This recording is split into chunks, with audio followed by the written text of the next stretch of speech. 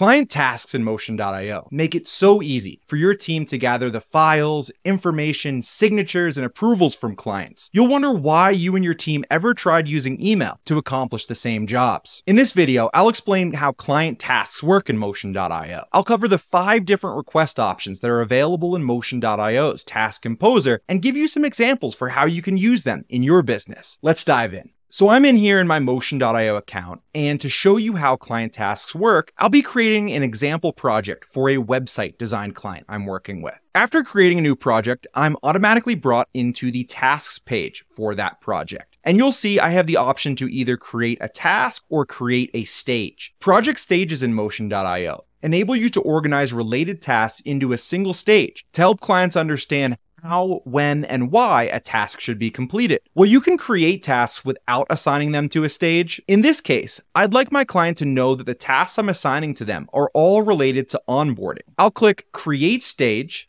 give it the name of Onboarding, and then click Save. With my stage created, it's time to create some tasks. I'll click the gray Create Task button that appears within my onboarding stage. And you can see the stage that this task is being added to here at the top of the Task Composer. Directly below it is where I can assign clients to this task. Tasks in Motion.io can be assigned to one person or multiple people. For now, I'm going to hold off on assigning any clients to this task because at the end of this video, I'll show you a quick way to assign clients to multiple tasks simultaneously. Next, I am going to give my task a title. Because this task will be for my client to complete an onboarding form, I'll simply title it Complete Onboarding Form. In the rich text editor below the title, I have the option to add additional content, images, or links, but for this example, I'm just going to leave this blank. Towards the bottom of the task composer, you'll notice I have five different options for things I can add or attach to this task. By toggling on these different request options or using a combination of them, you can quickly create any type of task for your client to complete using the same familiar task composer. To attach my onboarding form to this task, I'll toggle the attach a form request option. In the modal that opens, I can either create a new form from scratch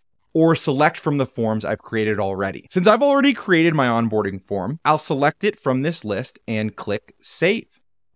As mentioned, you can use any combination of these request options when you're creating tasks. For this task, I'll toggle on the Require Signature option which will automatically add a signature field at the bottom of the onboarding form that I attached. After saving this task as a draft and opening the preview, you can see that my signature field is now added to the bottom of my form, ready for the client to sign after they complete the questions above. One thing you may have noticed is that for this task I just saved as a draft, I didn't specify a due date or set up automated reminders. And that's because at the end of this video, I'll show you how to use Motion.io's bulk actions to set due dates and reminders for multiple client tasks simultaneously. However, setting a due date and reminders for an individual task is as simple as choosing a date from the date picker and clicking the toggle that appears to the right of the date.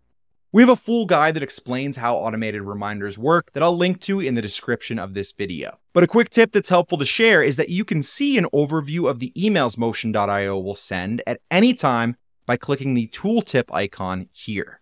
The next task I'll create will be for my client to schedule a kickoff call using a specific calendar I've set up within my online appointment scheduling software. As I did before, I'll click Create Task and give it a title. Next, I'll go to the request options below and click Embed a website. Using the Embed a website option, you can give clients access to any other tools you use directly in a task by pasting in shareable software links, iframe embed codes, or website URLs. For my example, I'll paste in the link for my Calendly calendar I want the client to schedule on and click Save.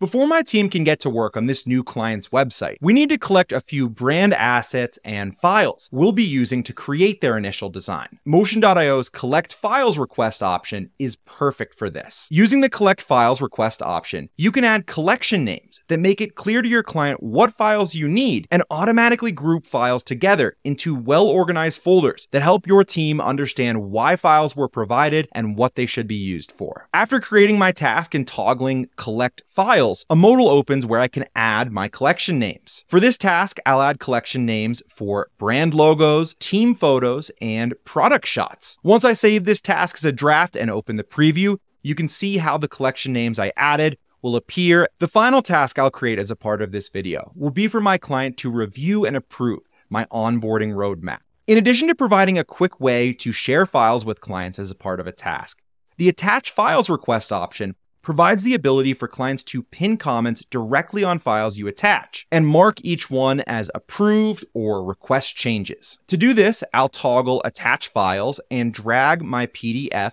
for the onboarding roadmap into the upload window. And while I could stop here, I'd like to give my client additional options to either mark this as approved or request changes and pin any comments or questions that they have. To do this, I'll toggle on require approvals in the modal. And as you can see here, my client can now annotate this file with their comments and mark it as either approved or changes requested. Now that all of my tasks are created, it's time to assign them to my client, set due dates and reminders, and send them off so they'll appear in my client's portal. Within your Motion.io projects, the bulk actions dropdown provides a quick and easy way to perform actions on multiple client tasks simultaneously. To assign these tasks to my clients, I'll click the checkbox next to each task and then head up to the bulk actions dropdown and click set assignees. I'll then enter my client's name as well as their email into the window here, which will also add them to the project and send them a welcome email and then click save. With those same tasks still selected, I'll then select the set due dates and reminders option from the dropdown. I'm going to go ahead and specify the same due date for each task in the onboarding stage, as well as toggle on my automated reminders. With these tasks ready to send to my client, I'll then select the send tasks action from the dropdown, click save, and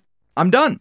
So that does it. Hopefully this video gave you all of the information that you need to start using Motion.io's client tasks and client portals within your business. That said, if you have questions about Motion.io or want some help getting started, our team is here to help. Get in touch by sending us an email at hello at motion.io or start a support chat by clicking the blue contact us button that appears in the bottom right hand corner of your account.